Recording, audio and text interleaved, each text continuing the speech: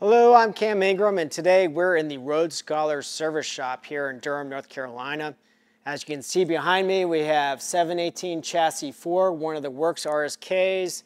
Uh, we just did a livery change into its pivotal moment in history when it won the Daytona 1000 kilometer race in 1959 with its famous Argentinian livery. And the owner is arriving tomorrow uh, for his first drive in it, so we're very excited about that.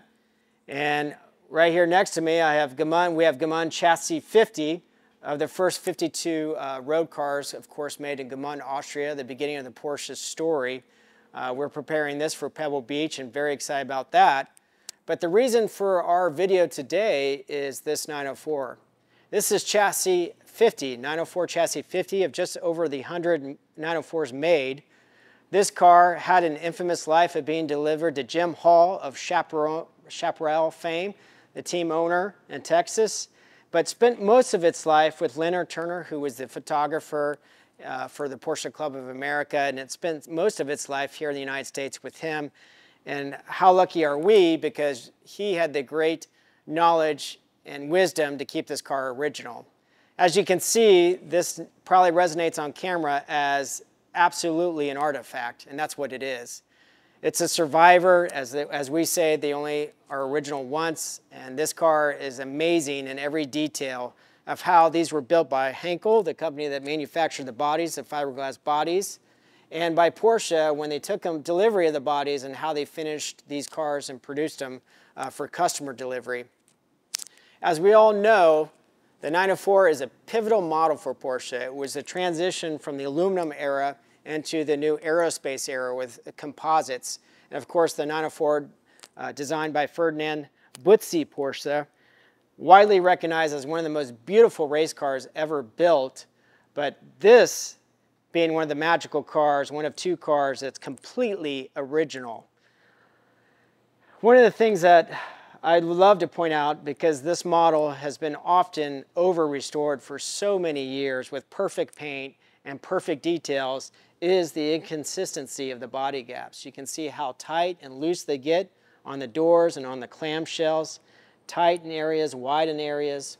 You can see the crude construction of fiberglass, uh, the fiberglass popping up through the paint, particularly through these uh, brake ducts. And in the front, we can go to the front, I'll show you that. That's one of my favorite things, how thin the paint is. But you can see around these pockets, around the fog lights, again, the fiberglass is just there, especially around the oil cooler as well. Again, these cars were finished in a way of getting them done and produced and getting them to the racetrack.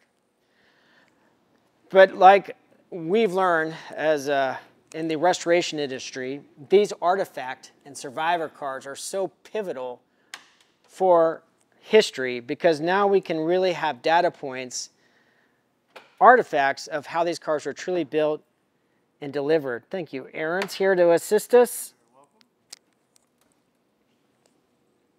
We're going to open up this engine bay.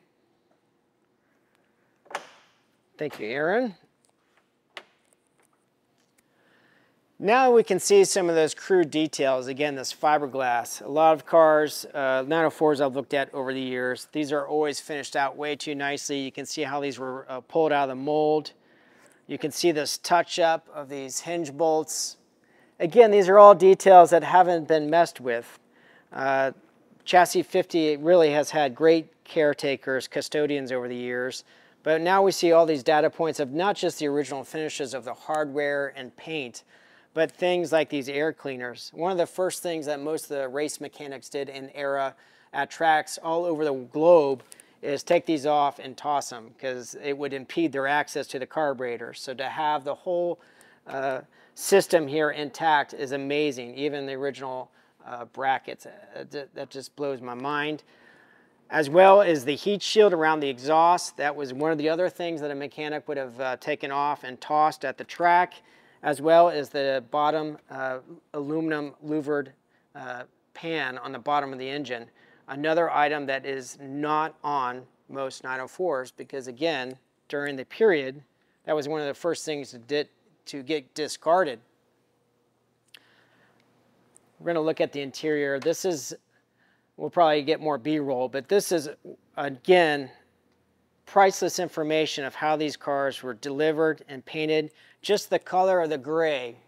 You know, you know, one of the things that you see in most restored 904s is the incorrect color of the gray in the interior. And again, these original seats, it's just remarkable to have these as data points. This is one of the cool factors of a 904.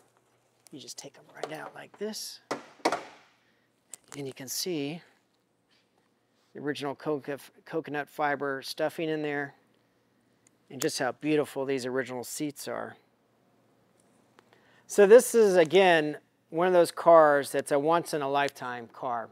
To have chassis 50, an original car, this is the second time we've actually, the chassis 50 has gone through our shop. It's heading to Germany to its new home, ancestral home. It's got a great new caretaker. But it's an honor to get to touch, feel, and preserve these cars because that's really what it is. It's preservation of history. Anyways, we thought was special enough to, to do a video on today, and uh, it's on its maiden voyage back home to Germany. But thank you for watching. Take care.